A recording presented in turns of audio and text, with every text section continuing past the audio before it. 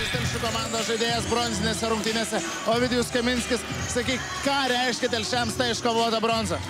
Manau, sunku apsakyti, ką reiškia. Vis dėlto pirmą kartą patekom į finalinį ketvirtą ir iškart pavyko pasikabinti medalius. Manau, labai daug ką reiškia mums šitas medalis.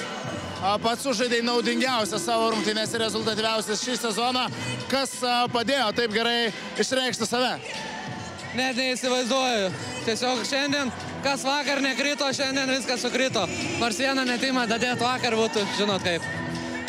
Varžovai lyg ir laikėsi visas rungtynės šalia, kas leido rungtynių pabaigoje vis tik su, suimti tą pergalę į savo rankas. Aš manau, kad jie pavargo tiesiog vakar iškritus Želėno Railį, jie turėjo tik septynis žaidėjus rotacijoje. Akcentavome šitą, kad reikia duoti didelį tempą visas varžybas ir galė turėtų jie pavargti. Manau, tas ir atsitiko. A, tai ar Žemaitėjo sostinė šiandien švenčia? Patikėkit taip. Sveikinu video ir gerą šventimą.